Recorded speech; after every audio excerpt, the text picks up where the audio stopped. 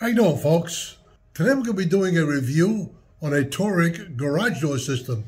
And we're going to be putting it right in between these two. In between those two pieces of wood. I'll be hanging it on the wall. So let me turn this camera around and I'll show you what I got out of the box.